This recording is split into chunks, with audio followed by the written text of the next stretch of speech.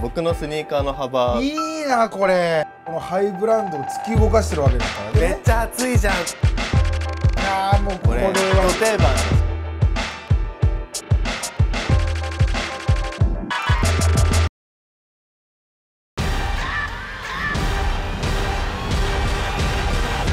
次はじゃあこれですね。あら、はい。だいぶラグジュアリーなハイなやつが出てきましたね。そうっすね。あんまりあのこういうハイブランドのスニーカーあんま買わないんですけど、はい。このあのビトンとシュプリームのあやつはちょっとさすがに昔あのシュプリームがビトンの真似したで、なんか怒られたかなんかで発売禁止になってっていうのが結構昔にあって、で今本当にコラボしてるわけでそうなんかそういうのを踏まえてちょっとグッときちゃってこれは持っとこうかなと思って。なるほどね。い。やわかります。わかります。よ認められて。ねめめっちゃ熱いじゃんと思って。やっぱ昨今のこのストリートブームがこのハイブランドを突き動かしてるわけですからね。いやそうなんですでもまあすげえ履きやすい形もなんか子供っぽくないし、うん。そのまあ、白だしなんか割と重宝してますよまあそうですね。カチッとした格好にも全然合わせられる感じしますそうですね。だしデニムに履いてもまあかっこいいですし。そうですね多分あの全然大丈夫。でただ色移りがなるほどね。デニムだと。青くなっちゃうのがちょっと心配なだけで怖いな。あ怖い。ちょっとまあ大事に。ああそうですね。大事にね。でもやっぱあの時ってえあれですか？青山の並びました。うわあれですよね。ニュースになるぐらいもう長蛇の列になってて、うんはい。並んだんですけど入れなかったんです。ーうわ散々並んで朝早朝行ってあの並んで入入れなかった。でついなもうすげえ意気消沈して家帰ってで次の日その一緒に並んだやつかはら LINE が来て、はい。次の日のなんかその昼ぐらいに、はい。実は俺今日も並んでて入れた。おお でなんか欲しいのあるって言われてでで買ってきてもらいました。僕も全く同じパターンです。並んで入れなくて友達が行けてなんか欲しいのあるで僕も買いました。マジっすか？その入場券をゲットしてその入場券を売ってる人がいます。そう。友達が入場する権利が当たった瞬間に周りにいた人たちにこう「あのそれ売ってください」って。うわー。普通に買いたい人はもうそこでダメだったらちょっと一回諦めますもんね、うん。やっぱ無理なのかなってなるんですけど。そうなんですよ。執念の種類が違うっていうか、うん。次のスニーカーはあーもうここれれはね、まあま定番のど定番。エアマックス95僕とカッピーさん多分世代で言ったら同世代じゃないですか。でもここのちょっと上の世代は本当に大好きですよねこれスニーカーハマるきっかけのやっぱ一つにその先輩世代っていうのが結構あるなと思もちろんもってこの先輩が履いてるやつ欲しいとか。わかりますよ。それで言うとドンピシャなんですよ。うん。先輩が履いてたっていう意味ではドンピシャでやっぱ30、まあ、中盤から後半の人は本当にエアマックス狩りってあったんだぞって言いますから、ね、僕からしたらなんか嘘じゃないぞ。都市伝説みたいな。でもやっぱかっこいいですよね。かっこいい。や95は。95年に こんなかっこいいのが語り継がれてるってすごいことですよね。当時いろんな人が履いて、まあ、広末涼子さんとかもああそうなんですね。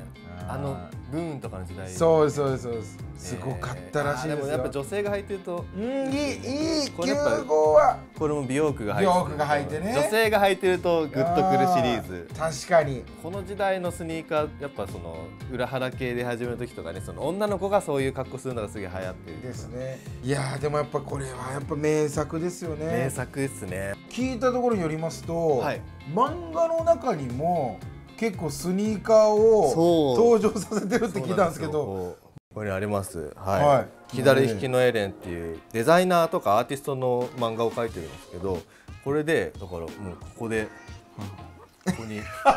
いや早いって出てくるの。もうもう好きすぎて出すの早いっすよカッピーさん。あのキャラクターが履いてるスニーカーをこの最初の挨拶の部分にこの載せてるっていう。ここでースタンスミススタン・スミス。エアマックス級。もう頭ではもうそのスニーカーで一言になってるんですよ。そうスニーカーで一言コーナーになっちゃってるんですよもうここ。でもキャラ付けしてるっていうかうん。このスニーカーをどういこのキャラクターは何で履いてるのかとかを結構考えながらキャラクターを作ったりなるほど。ちなみにこれは女性ですよね？はい女性です。何履いてるんですか？主人公なんですけど、はい。エレンはコンバースのオールスターズ。履いてそうオールスタ 美大卒で、あのアーティストになるっていうキャラクターなんですけど、美大生めっちゃ履いてるんですーわかる、僕あの美大だったんですけど、あのアトリエでぼーっとしながらこうアトリエから出てくるし生徒を見てたら、5回連続オールスターの時あって、えー。オールスターおおと思ってアーティスト系の子が履いてるってイメージでやっぱ履かせてます、もう多いかもしれないですね、うん。次のスニーカーお願いしまはい。す、次は、えっと、ソックダートああちょっとこれめっちゃもうくったくたなんですけど、はいはいはいはこれっすね。いいやソックダートもね、数年前とんでもなく。でも今は全然そのモデルによるけど全然普及したじゃないですか、そうですねだから最初はだからまあフラグメントで出してめちゃくちゃ人気出てあのスニーカーかっこいいってなってて、インラインでめちゃくちゃ出るっていうね。そうアトモスにめちゃくちゃ置いてましたよね。ママさんがその近所を犬散歩する時でも履いてるような、まあなんかあの誰でも履くようなモデルになったんですけど、出た瞬間はね結構いやそうそうやばかったですよね。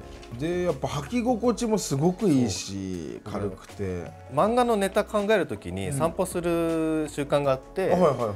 1日1時間は歩くぐらいえー。ずっと散歩してるんですけど、はいはいはいはい。こんだけスニーカーあるんだけど、その時は割とこれがほとんどですね。だから相当履いてる、確かにな、うん、ことがうもうわわわわわわわ。穴開いちゃってるんですけど。っていう履き潰しが5足ぐらいあってなるほどね。うんもうちょっとしたこのつっかけ感覚というか最後になりますが、はい。えーカッピーさんにとってスニーカーとは何ですか？でおもちゃに近いかなと思ってうん。あのおもちゃって飾っとくだけじゃつまんないじゃないですか、だから自分で遊ぶおもちゃっていうかそのたくさんこう並べるもよしは履くのもよし。だからやっぱりこのスニーカー好きの人ってやっぱどこかみんな子供というかうでこれがまあ童心に帰らせてくれるものなのかもしれないですけどななんすかねやっぱ童心に帰れますよねすごい楽しかったですカーピーさんありがとうございましたましたました家までお邪魔してありがとうございましたありがとうございますすごい楽しかったです楽しかったですありがとうございます